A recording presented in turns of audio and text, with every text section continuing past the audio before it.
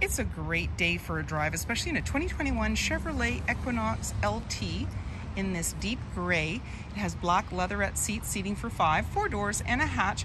It has a twin panel moonroof as well as navigation, reverse camera, and so many more features. As well, a 1.5 liter four cylinder engine paired with an automatic transmission, and it's an all wheel drive. If you'd like to take this vehicle out on a test drive, you can book that online at islandford.ca. Stay tuned, we're going to have a look under the hood and inside and out. This is a 1.5 liter four cylinder engine paired with an automatic transmission and it's an all wheel drive. Let's have a look inside. Storage and speaker in the door, as well as power locks, windows, and mirrors. You also have memory for two drivers, and you have the ability to adjust the lift gate to a certain height. Say, for instance, you're in a parkade or something, you want it to not catch on anything or a garage. You have a power driver seat with lumbar. The passenger seat is manually adjusted. And then you have your lighting controls here. On the face of the steering wheel is your cruise control, lane keeping, and your controls for your dash. This is a push start, so my foot's on the brake, keys in the pocket. We're gonna push the engine start stop button. And so any important messages, your odometer reading, and the menu, of course, will come up and you can toggle through there. In the center, we have our display, we have our AM FM satellite radio as well as Bluetooth. And when we put the vehicle in reverse, we're going to see our backup camera view. So it's just telling us how close we are, the orange and the red, to other objects or vehicles when going in reverse. I'm just going to put us back into park. There we go. We can push the home button on the screen and then you have your different options there. You have navigation, so the map will come up and then you can make choices there for where you want to go. And then again, going back to that.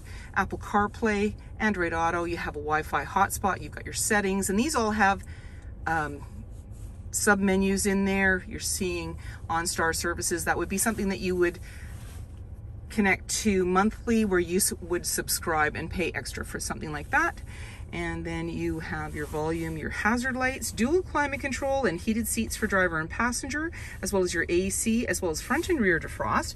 And then a little cubby there, you've got a USB, USB-C and an auxiliary line and automatic select shifter, your all-wheel drive is right there, electronic parking brake, couple cup holders and bins, and your armrest opens up with USB outlets there. Off to the side is the glove compartment, and you have an auto dimming rear view mirror. There's your OnStar. Again, you would subscribe to that and then it would be activated. You have your lighting controls here as well. And you have a twin panel moonroof with a screen that's powered. I'm not gonna open it, it's a little bit wet, but your controls are located here. Garage door opener, sunglass holder, and grab handle in the body, just making it easier to get in. 19 inch wheels, body colored door handle with easy entry. So when the fob's close by, you can actually unlock the doors and driver's side fuel cap. A little bit of a spoiler and a windshield wiper in the rear. And just below the Chevy badge is where your backup camera is located, backup sensors on your bumper. And then when you're ready to open up that lift gate, you simply double click the fob and it releases it and powers it up for you. You're seeing extra carpeted mats and quite a roomy cargo area. And you've also got hooks and tabs to be able to tether things. And then underneath you've got an area to put items. And then when you're ready to close it all up, there is a handle, but you can also push the button and then it'll close securely for you. You can then lock everything up and walk away or jump in and head out on your latest adventure. And on your fob, you have remote start storage and speaker in the door, as well as power windows. There's seating for three in the back with a 60-40 split.